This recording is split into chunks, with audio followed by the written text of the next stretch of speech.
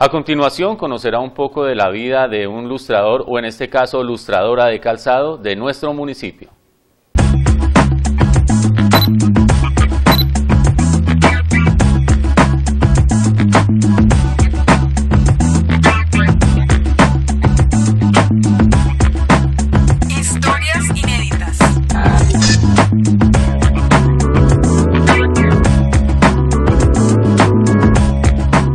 Muchos años en la labor que conocemos como limpiabotas, lustrador, embolador, entre otros títulos que popularmente se le da a esta actividad, lleva una luchadora mujer que por décadas ha estado presente en nuestro municipio y que hoy conoceremos más de cerca. Hola, ¿qué tal? ¿Cómo está? Buenos días. Muy bien, gracias. ¿Cuál es su nombre? Norbelis. Norbelis. Norbelis, doña Norbelis. Vengo a ver si me hace el favor y me regala. Estos no son de betún, ¿qué se podría aplicar aquí? Se le echa champú. ¿Shampoo? Claro que sí. Vamos a sentar con permiso, doña Norbelis. ¿Usted hace cuánto se dedica a esta actividad? 25 años. 25 años. Creo que más de la mitad de la vida. ¿Y en ese mismo sector? No, primero estaba en el atrio, después en el parque y ahora para acá. ¿Y le da para sostener la familia? ¿Casada, soltera? Soltera. Ah, solterita, pero con hijos. Sí, claro. ¿Hijos mayores o todavía menores? Dos mayores, dos menores. Uy, tiene cuatro hijos, dos mayores, dos menores. ¿Y todavía se acostumbra que cuando uno le están lustrando los zapatos se hable de política o eso ya pasó de moda? Eso siempre se ve todo. ¿Y la actividad es gratificante? ¿Le gusta lo que hace? Sí, me encanta. ¿Por qué le encanta? Porque dialoga con la gente, conoce personas. Sí, por eso y porque también uno acá trabaja independiente, sale cuando quiera, llega a la hora que uno quiera. Pues yo casi, pues yo siempre trabajo de, de 7 a 5, de 7 a 4, así. Pero entonces llega uno y ya traba- empieza a trabajar y es al diario que uno gana, ¿sí? Cuando usted llega acá, ¿trabaja de domingo a domingo? Sí, domingo a domingo menos lunes festivos.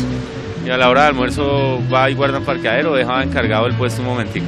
No, yo almuerzo acá en el puesto. Ah, almuerza aquí. Y cuando se aburre, ¿qué hace? Lee, cuando no hay clientela, lee, escucha música, ¿qué le gusta hacer? Leer, ¿Qué le gusta leer? ¿La prensa o un libro en especial? la prensa, Temas de prensa que le gusten a usted, farándula, política. noticias. ¿Ha visto el crecimiento de Fusagasugá en estos 25 años que está en las calles trabajando? Bastante. Ha crecido mucho Fusagasugá. ¿Y qué piensa de eso? Ya no es un pueblo, sino una ciudad. Es una ciudad. ¿Pero eso ha traído más clientela o, o sigue igual? No, eso sigue igual. Claro que ya uno trabaja con mera clientela, pues sigue igual para mí. Todos los días es buenos. Ah, bueno, pero todos los días nunca ha blanqueado, ¿no? No, nunca. Gracias. Gracias a Dios. Usted debe tener bastantes admiradores, la molestan mucho por acá.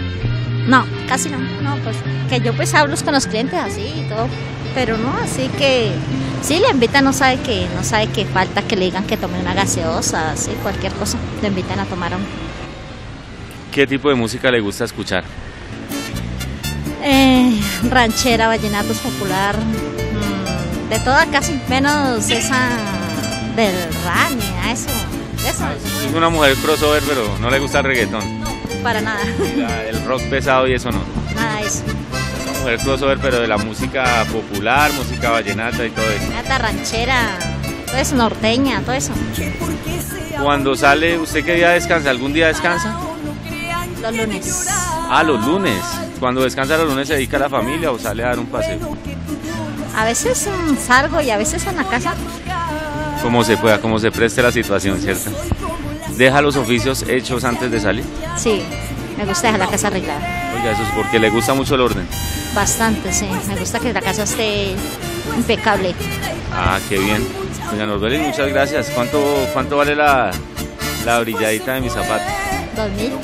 Dos mil en, champuzada, ¿cómo se llama eso? Champú. Champú, si la enchampuzada, pongámosle hoy.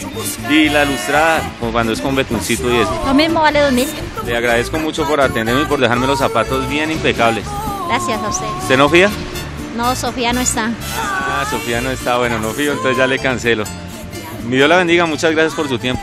Bueno, sí, señora, a la orden. Feliz con lo que hace, llena de principios y con una actitud armónica, Norbeli sigue en su labor a Dios rogando y con el betún trabajando.